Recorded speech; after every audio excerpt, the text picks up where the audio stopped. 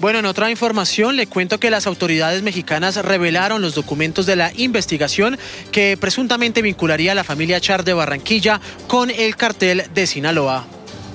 Según este informe de las autoridades mexicanas, los dos hermanos Arturo y Alejandro Char son vinculados al cartel de Sinaloa, el cual mantiene el control del narcotráfico en México. Todo se conoció a través de un hombre cercano al Chapo Guzmán. La red financiera, a partir de la cual se opera dinero ilícito con fines electorales en el departamento de Atlántico, Colombia, está liderada por José Galo Abondano, Fuad Ricardo Char Abdala, Alejandro Char Chalihub y Luis Miguel Cotes. La investigación y el presunto vínculo de la familia Char con el cartel de Sinaloa fue publicado por el medio mexicano Eje Central, el cual asegura que el cartel usaba el banco Serfinanza, propiedad de los Char, para los movimientos financieros irregulares. El dinero entregado es contabilizado para que posteriormente sus deudas sean pagadas por contratistas gubernamentales del Departamento del Atlántico, quienes en una operación back-to-back apalancan con garantías el préstamo.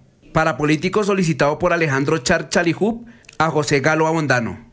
Por su parte, el abogado de la familia Char ha asegurado que están en busca de un equipo jurídico en México, rechazando y desmintiendo las pruebas entregadas por la inteligencia mexicana.